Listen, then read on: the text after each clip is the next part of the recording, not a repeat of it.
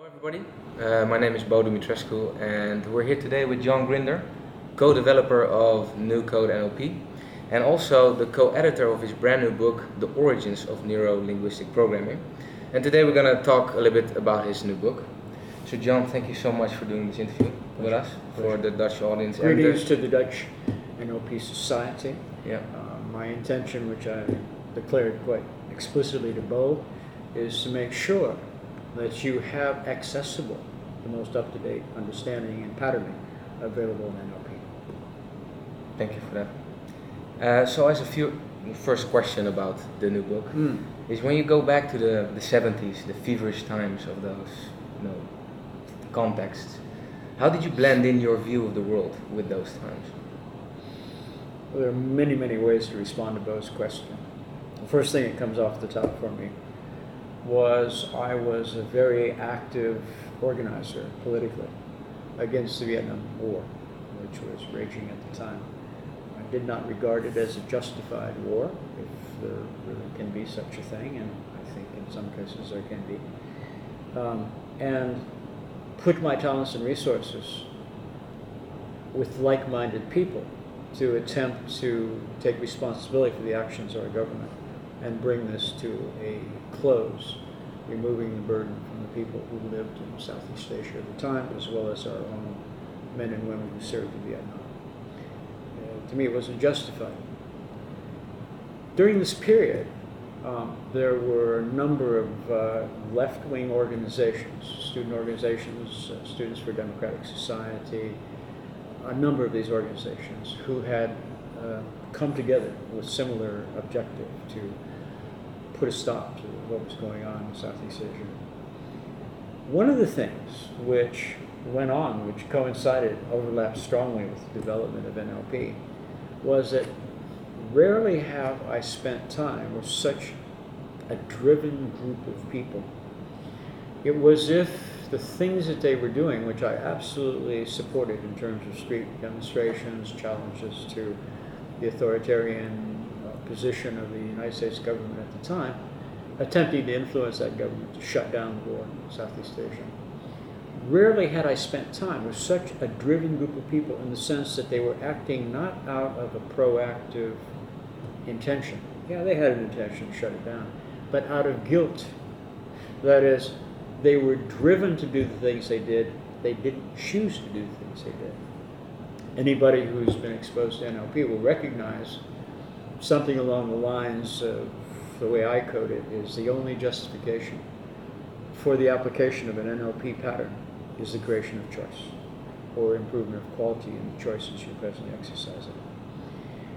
So here I was, aligned in my intention and my actions in the street with a group of people who did not display the kind of choice that I took to be the point and shows up, of course, in, in NLP, as you just heard me say, as the touchstone for what it was that we were trying to accomplish. In that sense, excuse the language, but the meta model, the first model that was created by Pucelik and Bandler and myself, documented here to some degree in this book, uh, is a bullshit detector. If you listen to someone make a rather fluffy, high logical level statement, yes, we must shut down the activities, blah, blah, blah. And you simply take the nouns and verbs, which are not concrete enough, without hallucination to be understood, that is, without an active interpretation on the part of the listener watcher. And you apply the simple specification patterns of the meta model, or any of the more recent forms, such as the verbal package in the new code, you'll quickly discover if somebody knows what the hell they're talking about. It will also force them to reconnect the language that they're using with the actual experiences, which presumably are the reflection at the level of direct experience in the world of these things that they're talking about. This had a very salutary effect. And if you pursue this, as those of you who have played with the meta model or other versions of the verbal package uh, know, that the recovery of deleted elements in your internal maps the challenging of unspecified portions of your speech patterns, which are usually reflections of very general abstract representations in the internal maps, are ways of stimulating the person to consider from multiple perceptual positions and to come to an, a, a, connection between what they're saying and what their direct experience is at the level of action, in this case, in the streets. So, in that sense, there was a double thing going on. I think it's well covered in this book. Uh, it's also described in several other books, uh, for example, uh, Whispering in the Wind, what the situation was and how I became initially involved. It's true. Bandler and Pucelik invited me to help them solve a puzzle. They were doing genius work. They were doing really fine replications of portions of Gestalt therapy. Uh, I was not particularly enthusiastic about therapy as a concept, something I think we'll return to in a moment. But what was clear when I actually was convinced to come and watch and listen to them perform was that they were creating a context where people were developing choices they didn't have prior to entering this context. The challenge and the puzzle for Pucelik and Bandler at the time, as they described to me, was yeah, we could do miracles. We can, uh, a treatment group is something that we can hold in the palm of our hand. We can make it work. What we have been unable to do so far is to teach people to do this, to create the context where this happens. That is to replicate our ability to perform magic. And this was uh, the thing which was the challenge they offered me for reasons which are in part described in this book uh, and too complex to bother to go into detail here. I, my immediate response was in order to help you build a system of transferring your competencies to the students you wish to instruct in this manner, I have to be a native speaker. I have to be a native actor of the vocabulary and the set of actions which constitute Gestalt therapy as you presently represented in your groups.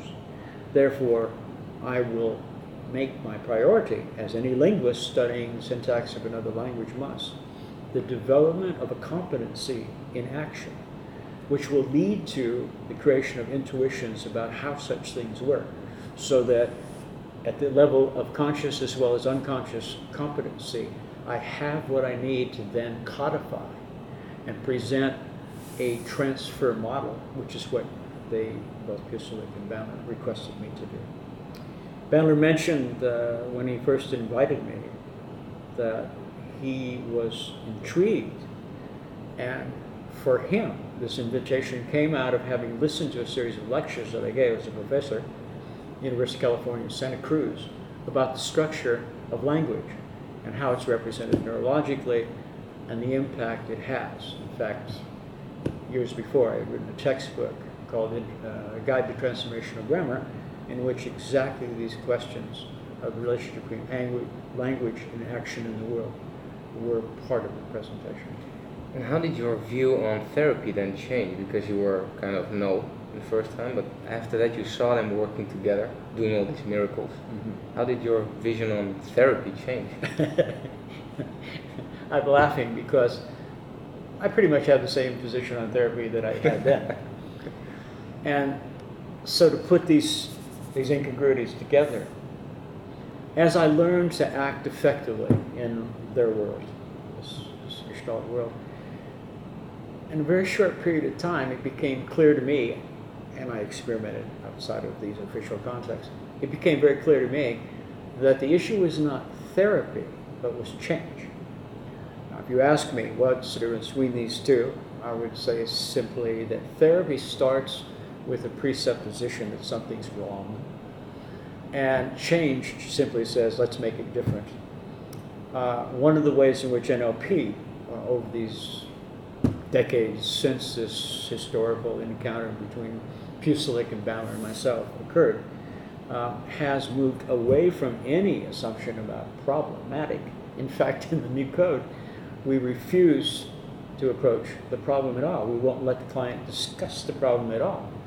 Um, in a soundbite, the problem is not the problem. The problem is the state in which the person who thinks they have a problem approaches the context in which they think they have that problem. So if you change the state, then there's no problem. And you don't have to know what the problem is. Let me, by the way, make a distinction which might be comforting to those of you who are using your left brain more actively than I am at the moment. Uh, and that's quite simple. If you wish to make a difference in the world, you don't have to choose making a difference in yourself or in the world at the same time. This was my objection to therapy. That much of what passed for change work in the context called therapy in the 70s was adjusting individuals to the system as opposed to preparing individuals to act independently and develop new ways of interacting themselves with one another, as well as challenging certain component parts of the larger social system in which they were embedded. So, this still makes sense to me. And the certainly in the new code, there is no. The only the major variables that we're manipulating in the new code are state, state of the person wishing to make a change, and the context in which they want these changes to occur. Uh, there are deep connections and even presuppositions about how to engage the unconscious. I don't know of any change that I've ever witnessed uh, or had described to me in enough detail to have an opinion that didn't involve a movement at the unconscious level. So, why are we talking? Why are we operating with the left cerebral hemisphere? There is, inside of NLP, a huge division.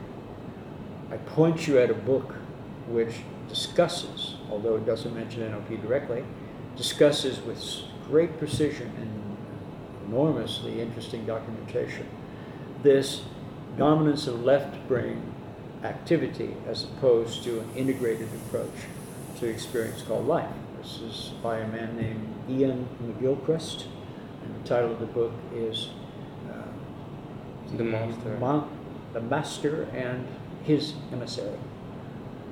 Um, I, I think I'm kind of well known in circles for writing difficult books. My books are simple compared to this, and it's well worth working your way through this book. This is a, a, a man who has captured and documented a development. And it follows, by the way, a book by Julian Jaynes called uh, The Origin of Consciousness in the Breakdown of the Bicameral Mind. Clearly, he could have invented the title NLP with a title like that.